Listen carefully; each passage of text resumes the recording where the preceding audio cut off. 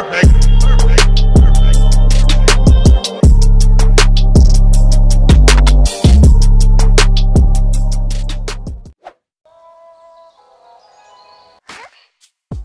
Wasting no time, we have Clark from Japan. The speakers are Dali Opticon Vocal, Dali Helicons, 400 MK2 Dali Alteco, C1 4K UHD players Oppo UDP 203. TV is an LG OLED C6 4K 3D TV, of course, 55 inches. His receiver is Marantz NR1608 with an integrated amp, the Cambridge Audio Azure A51A, as well as a CD player from Cambridge, the Cambridge Audio Azure A51C. And to keep that air nice and clean is a Blueair Classic 680i air purifier. Why does that air purifier look more expensive than my entire setup? Nice video, man. If you're interested in his YouTube channel, it's Super Collector Clark.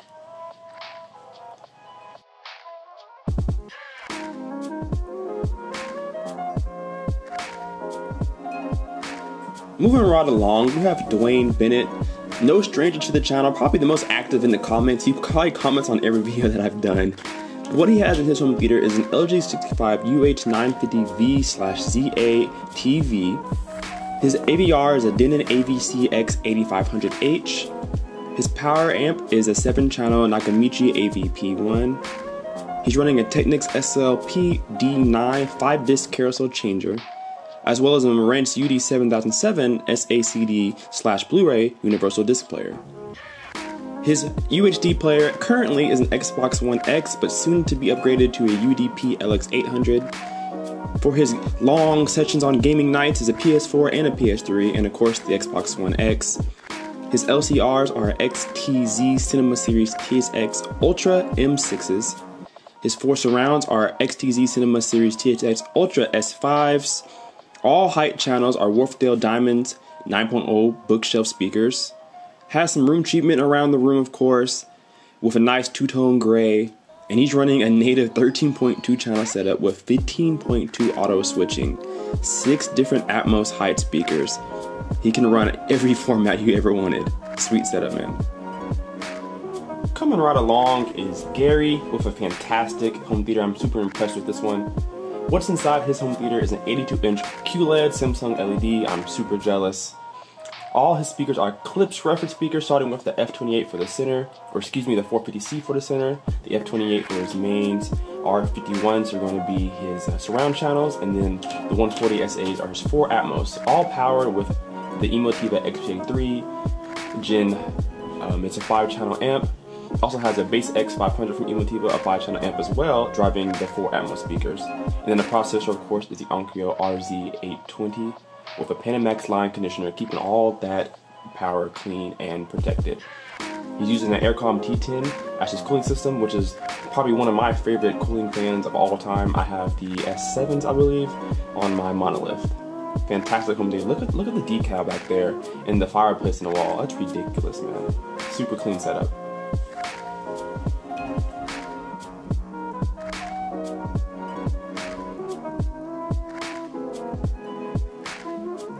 Forgive me if I say this wrong, don't roast me in the comments, but next we have Rogelio Arroyo, I believe. He's a 23 year old college student. I know how that goes. But he has really good starter equipment. Right now he's using a 65 inch 4K smart Vizio TV, a Marantz SR5012 running a 5.2.2 setup. For the speakers, he has two Polk Audio T50 towers, which I've reviewed on this channel. He has a CS10 center channel and four Polk T15s. He has two Yamaha 8-inch subs for the bass and a Roku 4K Ultra for the streaming. And for all his Blu-ray needs, he has a Sony X800 as well as a Xbox One and a Dish TV for all his TV broadcasting. He plans on upgrading to a full SVS system in the future. Super clean setup. You're killing it at 23 years old as a college student, man. Props to you.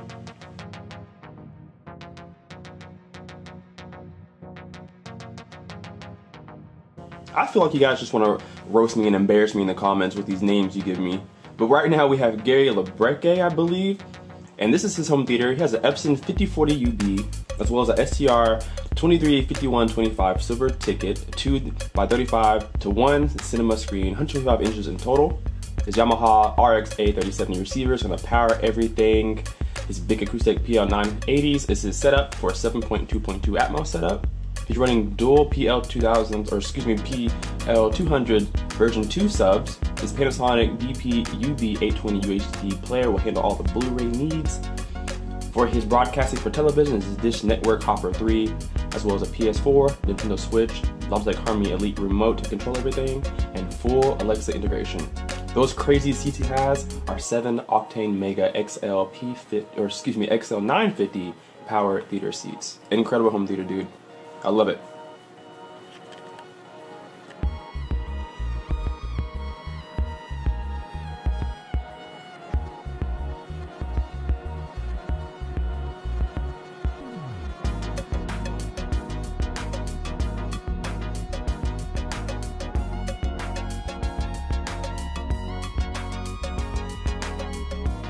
I just want to go over a couple of changes to the home theater since the last one last home theater tour I did, which you can see easily. I did remove the Atmos speakers off the bookshelves, and I put them up top as up top as height channel speakers. I moved the DVD case that was over there in the corner, moved it over here, and I also brought out the other sub that was in that corner. It is now right there on the floor. So I'm sitting down, both subs on the floor, same spot. My height channels are, my Atmos channels are now height channels. And there's a Google Home Mini, which I do use and I do think it's uh comes in handy. So I was wrong about the voice command uh, devices. Still not a big, big fan of it, but I get why people use them. It comes in handy. I do use it um, I use this for reminders, alarms, turning my TV off and on, which turns on my receiver too. So it, it comes in handy. I do not have any smart lights down here. I might, I probably won't, but um, I do have some upstairs with that Google Home, the little hub that we use for the lights. So I mean, it comes in handy. It's it's it's cool, especially for free. I got that one for free. So so yeah, those are the main changes to the home theater. Atmos are now height channels, subwoofers on the floor, away out the corner. Um, it does sound a lot better this way. I probably will keep it this way for a while. And if you haven't noticed, you can't see, well, you can see those wires back there, which I'll move around and clean up. But behind the entertainment system, you cannot see the wires anymore. Um, cost me $2 all I did was I went to Walmart, Meijer, whatever you got, and I just got regular black cardboard paper. It's actually some over there in the corner still. Um, that's how big it was. I cut it down the size of the back of my entertainment system, and I cut out a little hole in the back where all my HDMI cables and the power cord would slide through. And I just put them through there and literally just taped it a small piece of tape on the back of my TV stand. So that at least covered the cords up behind the receiver and PS4 Pro down there and you know the Blu-ray player and the power conditioner. So if you do have an entertainment system that has open back like I did, you can easily right there in the back just get you uh, some cardboard paper, poster board, whatever they call it. Um, skip black. I mean, I did black. Cut you a hole out and run your wires through that, and you won't even be able to see it. So, those are the minor changes to the home theater system. And yeah, I took the grill off. All the speakers. I don't know how good you can see it. This lighting's pretty poor, but yeah, it still got the little logo on there, little Sony logo, so that's cool. Not bad with without the grill. I thought it was pretty cool. Um, don't really make a difference with sound, but those Klipsch subs, I'm keeping the uh, grill on those because I am not a fan of the way Klipsch speakers look. I don't like that copper look. I think that is ugly, but that's just my opinion. So that's it for changes, man. Um, maybe doing something else different So stay tuned.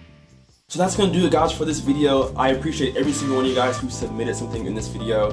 There are two other ones before this, so if you haven't seen the first two parts of this video, definitely check them out. If you're not inspired to do something or create something with these videos that I've posted with these custom home theaters, you definitely um, will be after this one. Fantastic stuff. I kind of just want to buy everything now that I see everybody's home theaters. I'm kind of jealous. Got home theater seats, 82 inch TVs, projectors. I don't have any of that, but oh well. It's really inspiring to see you guys out there um, watching my videos and have home theaters the way you guys have them. In my personal opinion, a lot of your home theaters are better than mine. But uh, and still, still, you guys like to come to my channel and watch what I have anyway. So I really appreciate that. I really appreciate the support. Um, but you know how it goes. Hit that comment down below and let me know what home theater you guys thought was the best in this video. And then if you haven't already, head back to the other videos and let me know what you guys think about the other videos as well. And all of my um, my submissions are really looking for some advice. So if you guys have any advice on what they could change, fix, alter, whatever, leave that down below in the comments as well as tag them as well so that you guys can, you know, help them out and they can read your comments. And we all can be better together, you know? So I appreciate you guys watching my videos. I appreciate you guys watching their videos. And uh, we'll see you again on Wednesday for my video and then again Friday for another one of these videos. So stay tuned, stay safe, and we'll see you guys in the next video. Okay, peace, guy out.